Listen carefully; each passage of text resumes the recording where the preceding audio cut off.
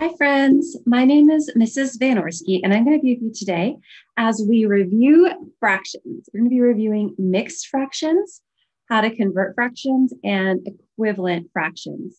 So let's go ahead and get started. First of all, we have some I can statements. Let's go ahead and talk about those.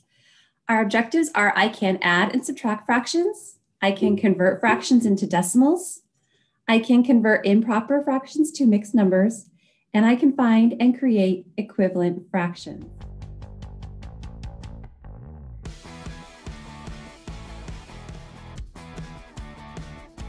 Testing Newton, Newton's first law of inertia. Okay. Three, two, one.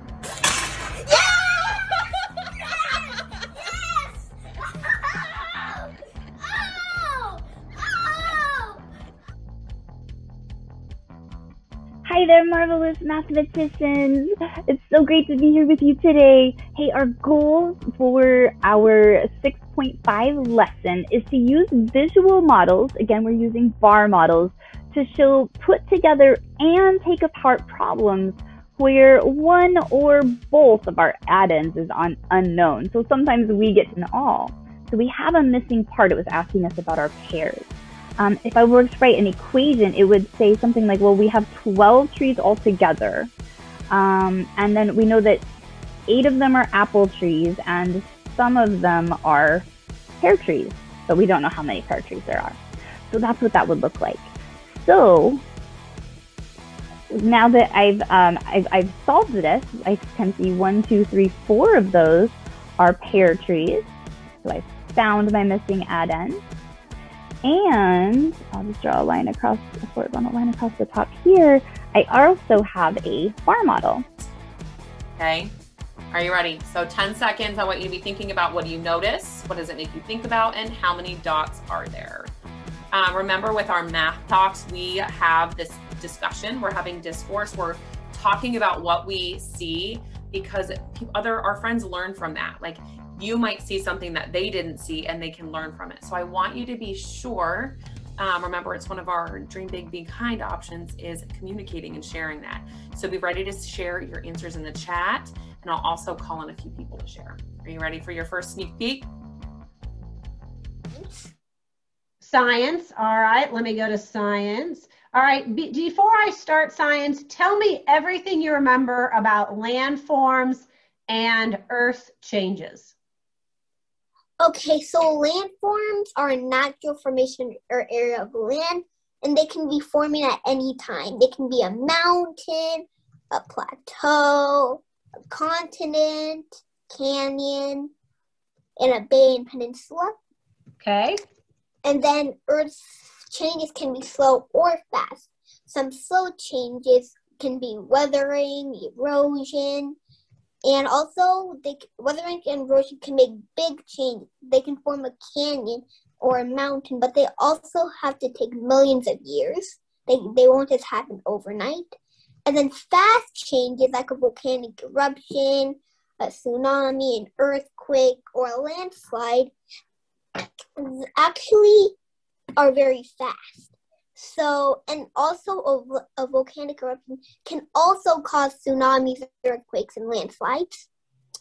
And so, oh, an earthquake happens very fast and it changes the Earth's surface. So it can be like large cracks. Man, keep going. You're blowing my mind.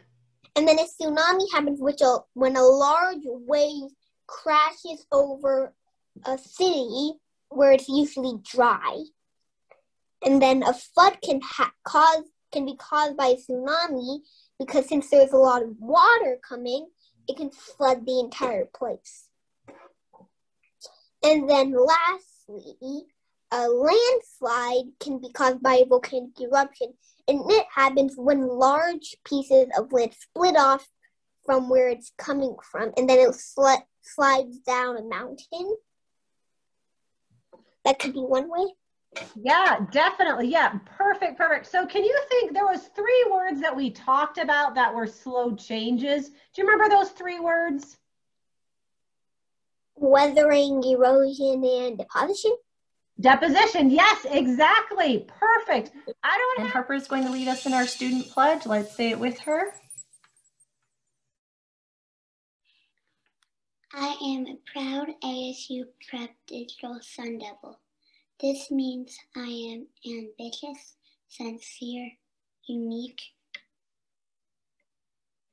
prepared, dependable.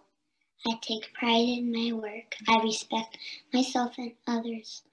I accept responsibility for my attitude, words, and actions. I will do my personal best, for this is the Sun Devil way. Great job reading that for us, Harper, and thank you for participating, everyone. Today, it is the month of March, and in March, we are taking a look at this word, unique.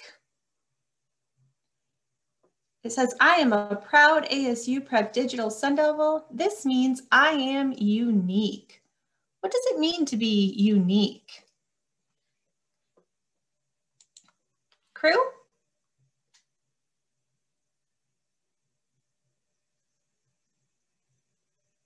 Unique means to be like different.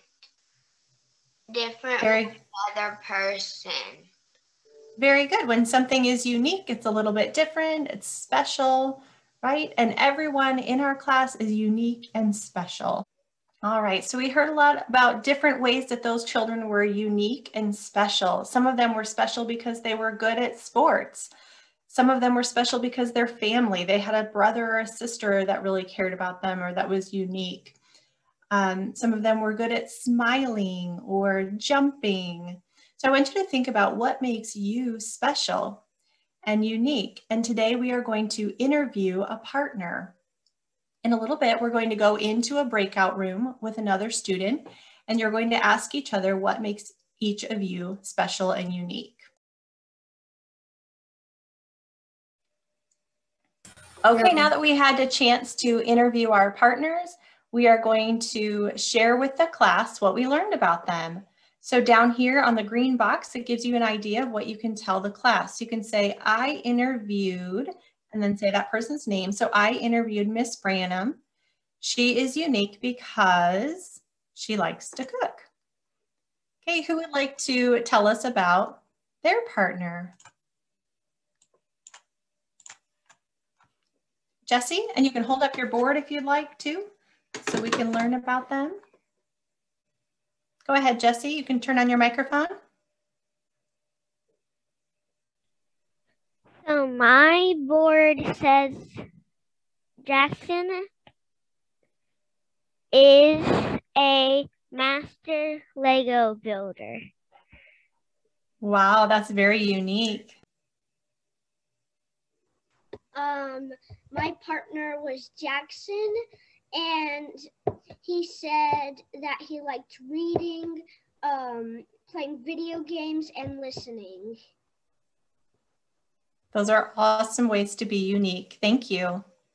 Sawyer? Um, I interviewed um, Zachary, and he likes to play with his dad. That's very special. Thank you for sharing, Sawyer. Well, that's what I heard, I think. Excellent. Well, we just found out that our classmates are all very unique and special. We all like to do different things. We all are good at certain things, and that makes us so unique and special. Thanks for sharing today, everyone.